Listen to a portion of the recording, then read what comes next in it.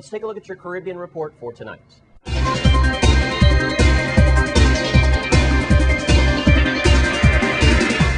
We start in Nevis, where election time is just around the corner. Prime Minister and leader of the Nevis Reform Party, Joseph Parry, announced on Wednesday night that the people of Nevis will go to the polls on July 11, 2011. Nomination day is July 4th.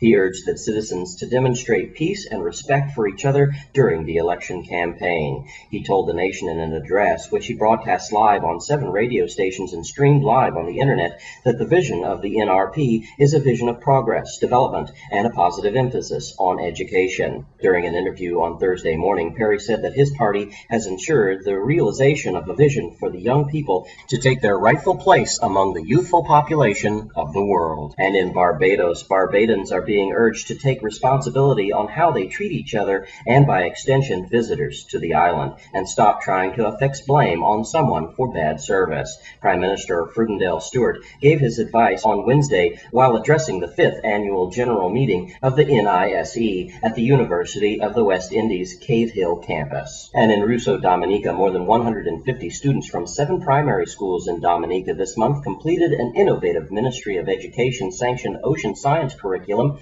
called Floating Classrooms. For this program's curriculum, each student now has the chance to participate in a custom designed education ocean excursion on vessels owned and captained by Dominican members of the Carib Whale Association of the Caribbean Whale Watch Operators. After four months in school study and learning activities and the importance of protecting Dominica's marine environment for the country's economic future, each school group gets to embark on a 2.5 hour research cruise, which includes hands on lessons and observations about ocean creatures, diving gear, and marine habitat protection. And finally, in Tampa, Florida, a federal judge sentenced Grammy Award winning reggae singer Buju Banton to 10 years in prison on Thursday, the lowest sentence legally allowed for his role in a large cocaine trafficking deal in 2008. The 38 year old Jamaican recording artist got a break when U.S. District Judge James S. Moody threw out the gun conviction, which would have added another five years to his minimum sentence. Banton's attorney, David Markus, said that with time already served and good behavior, he could be out in six years.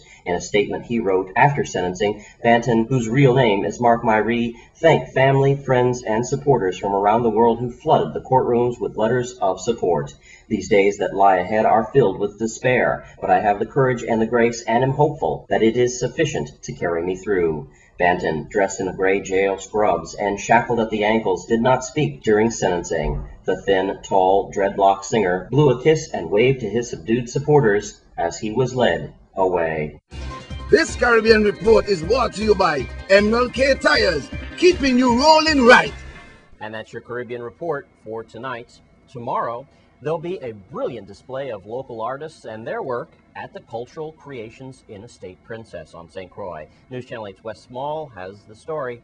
Thank you very much, Jerome. Another win win situation on a Friday. We're at Cultural Creations with Millie, the owner here. They've got the local artists coming through tomorrow, 10 a.m. to 7 p.m. They are in Princess, and their hours during the week normally five days, which is Tuesday through Saturday, 10 to 6. And before we get to Millie, I want to pay tribute to this beautiful young lady right here. Uh, a lot of you. 82. 82. 82 months? yeah. uh, look at you. Who, who's this over here smiling here? Me, that's a military child. That's your little, that's your little baby, right? Yeah, and her baby. son is in the background here. Let me get right to it because we don't have a lot of time. Um, Juanita Encarnacion is just going to be one of the many artists that's going to be coming through this weekend, displaying their wares, and she is celebrating her 50th, five zero anniversary in making cultural dolls like these beautiful dolls you see here and you're going to be seeing those and many other objects as we take a look at inside of Millie's store, Cultural Creations. Look at these beautiful things. That's what we're going to be showing this weekend. Okay, now we're going to get to the queen right here, Miss Encarnacion. And sweetheart, you've been doing this for 50 years. What got you started in making these beautiful dolls? Um, well, I um, first time I see them in a store in St. Thomas because I used to live in St. Thomas. Yeah. Yeah, then I used to see them and I said, look, like I could make it too. That's what you did. Yeah, but they used to make it in white alone. Then I used to make it in different colors, and to make it in high, like big like that too. And size I make them too. You you love these dolls, don't you? Huh? You love these dolls. Oh don't you? yeah, yeah. That's why like uh, you know to keep myself busy. Yeah, to keep myself busy. You know? You know, before off camera, uh, Juanita was telling me that um, this one needed company. And you know, I've noticed that the creators of these dolls don't look at them as dolls. They look at them as people. You don't. You look at these as people, don't you? Huh? You look at these as like people, like they have feelings and personality. yeah. Yeah, Yeah. sweetheart. I want to say God bless you. You'll be here tomorrow, then. I'm gonna try my best to All be here. right. God bless you. You're okay? Then? Millie, she's great. She is wonderful. You know, Juanita lives in Marley, all the way in Frederiksted, Yeah. and she got up at seven o'clock this morning to come here. And she's one of my biggest fans. That that shows her passion. That shows her passion, and and that's what cultural creation is all about. It's about people and their love and passion for their culture, and we try to emphasize that here in our gallery.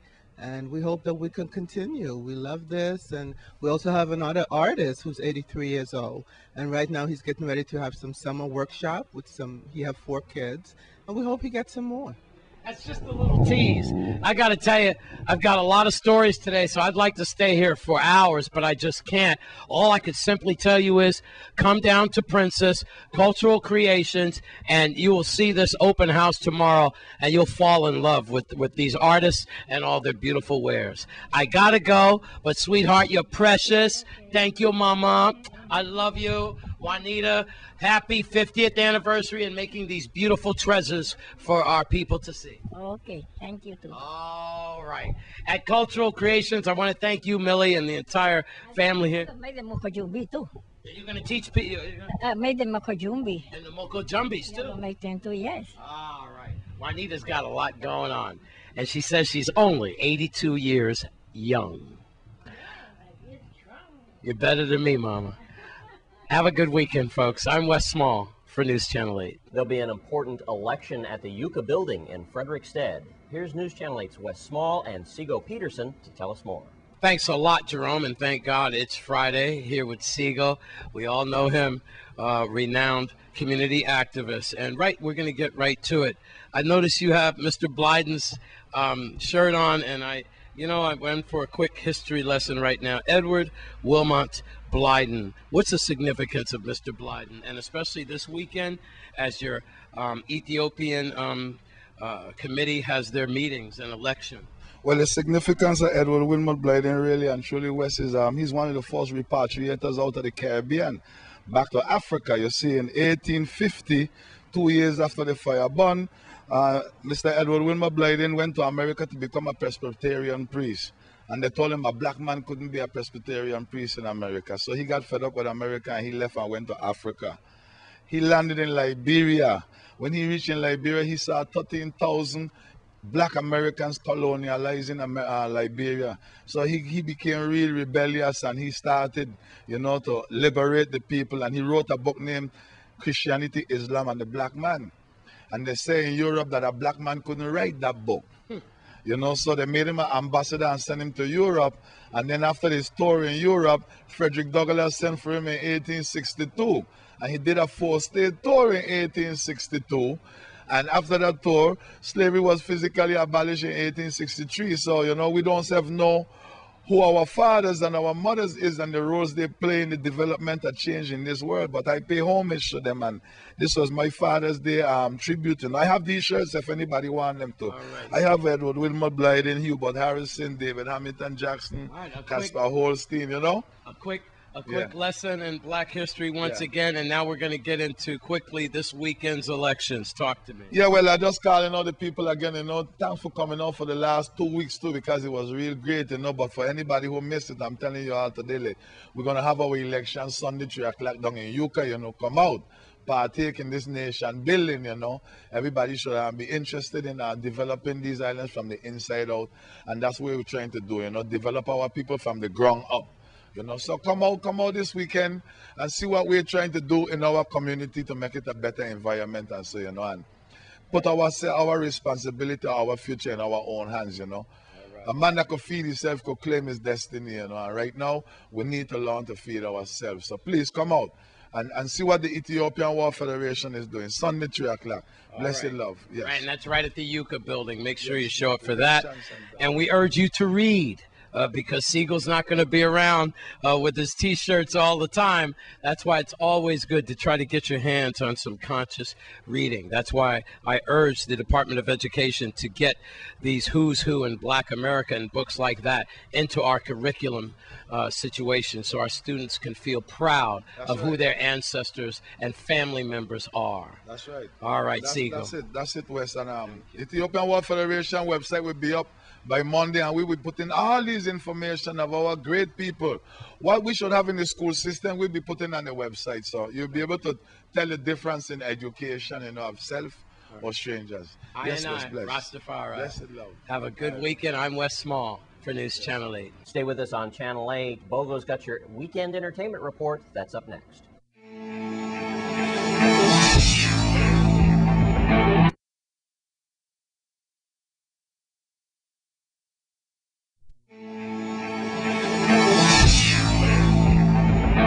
Let's take a look at what Bogo's got cooked up for the weekend entertainment report.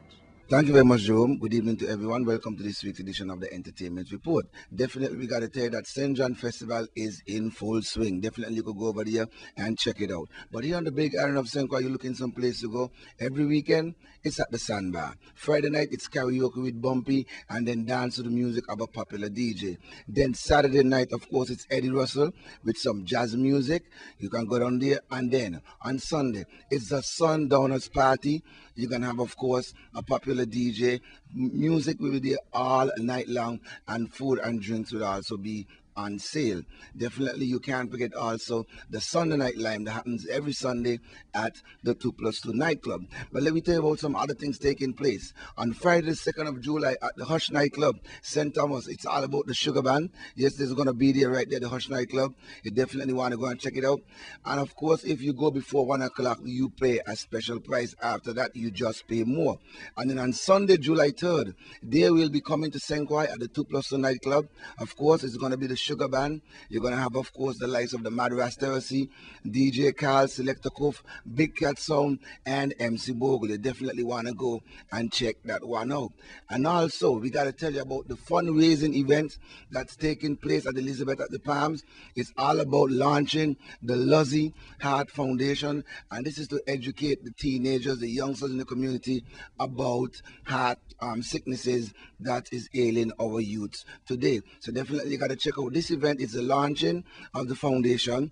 It's going to take place at Elizabeth at the Palms. Music by, of course, none other than Big Cat Sound, DJ Swain, and also R&B Connection. There'll be raffles and food and drinks on sale also. So you definitely got to go and check that one out. And we got to tell you about Sun Saturday, July 9th at Gertrude's. BCJ Promotion presents you Small Axe Band out of Sugar City, St. Kitts, and this is part two. Also on the card, you'll have Daddy Jones, you're to have Big Cat Sound, you're to have, of course, DJ Carl, and the Mad Rasterisi and Dog Art International. So you definitely want to go. Mark it down on your calendar. July 9th at Gertrude's, it's Small Axe Band returning to St. Croix once more. And as I'm speaking to you, you should be in St. Kitts or on your way to St. Kitts, of course, for the 15th annual St. Kitts Music Festival. Of course, you know, it's going to be three good nights of fun. That's the 23rd, 24th, and 25th, with the likes of Jackie or Fantasia, um, UB40, Black Rhino, Conscience, Bunny Wailer, and the list goes on and on and on. So please go on out and check it out. And I hope when you go on there, you have a lot of fun and stay safe. All right. I want to thank you for joining me on the entertainment report. Whatever you do, do it peacefully. If you drink, just don't drive. Back to you, Jerome.